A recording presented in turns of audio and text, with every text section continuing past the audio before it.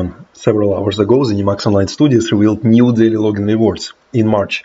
And this time, guys, they're gonna be really awesome and you definitely do not wanna miss them. So what's about daily login rewards in March? At first, from day 1 to day 6, you will get Scalecaller crown crates to in total 10 crates. And it's not uh, static crown crates like you've got previous months, like uh, for example this month we've got 3 crown crates regular crown crates and one crown crate uh, with static rewards with one uh, pet and two uh, just regular rewards. This time it will be regular default crown crates with four or five rewards where you can get even mounts like epics radiant mounts etc etc so 10 crown crates from from just logging in in the game from day one to day six and next reward will be one of the best, if not the best DLC in the game, especially if we're talking about its usefulness in current meta. It's Orsinium DLC on just daily login day 2. So you definitely do not want to miss this reward. You will get one of the best DLCs in the game just for free. And we'll talk about this DLC a little bit later after we uh, come through all the all, all the rewards. Next reward on day 7 is Seals of Endeavors and this time you will get 500 Seals of Endeavors. And why am I so excited and why you should be excited? Because one week from weekly challenges, you get something like from 200 to 300 uh, Seals of Endeavors. And this time you will get uh, two weekly challenges rewards. It's 500 in total Seals of Endeavors. And it's really, really awesome and, and really great amount of, of these seals. And next reward will be Craglorn Welwa Pets on day 14 daily reward just for free, just from daily login. And more of that, you will get mount, another free mount, Iron Orc Welwa mount on just day 21 uh, day, day, uh, daily login. Yes, there are two rewards in orcs in orc thematic, but still there are wonderful rewards: orc mount, uh, iron orc welwa mount, and these pets. And more of that, if it wasn't enough, Zosis decided to make another rewards for every player who is owning Orsinium.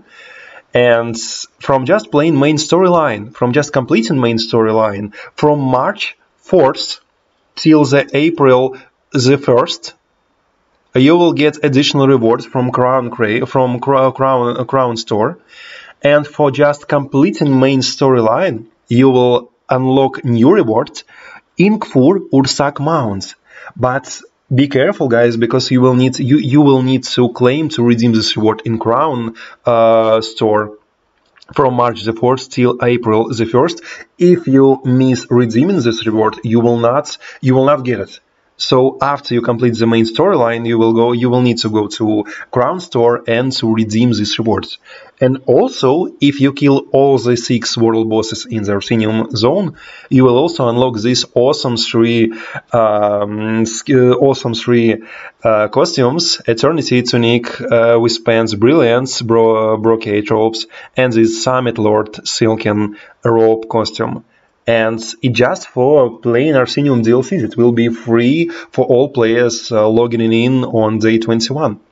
So if you want if you want to get these rewards, you just need to complete main storyline for Mount and to uh, kill all six world bosses in Orsinium DLC in Orsinium Zone and to click these rewards in Crown, in Crown Store from March the 4th till April the 1st.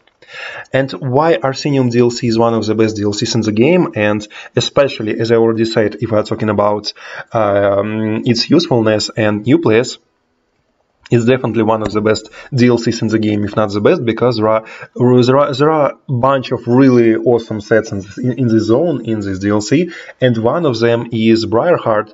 And why Briarheart is one of the best sets in the game? Because if you are playing solo, if you're a solo player, or if you are farming such activities like, for example, Maelstrom Arena or um, newly added uh, Infinite Archive, um, you definitely need this set, especially if you don't want to play uh, such popular in community one bar builds with Oakensoul Ring. Because what this set is doing, from just dealing critical damage, this set increasing your weapon and spell damage for uh, 431, if I remember correctly, weapon damage and spell damage in um, in purple quality it's 429 and 431 in golden quality if I remember correctly.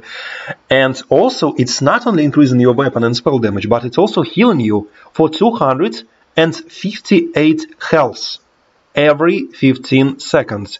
And this effect healing effect is also scaling from your um, max magicka or max stamina uh, depending on what your build is it's really awesome set if you are playing, if you're farming any arena, Veteran Arena, or Maelstrom Arena, or Infinite Archive solo without um, Oakensoul Ring, you definitely need this set. It's one of the best uh, sets in the game for solo player.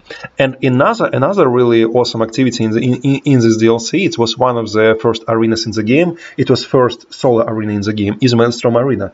And this arena is also giving you a bunch of really awesome rewards, really nice rewards, really useful rewards.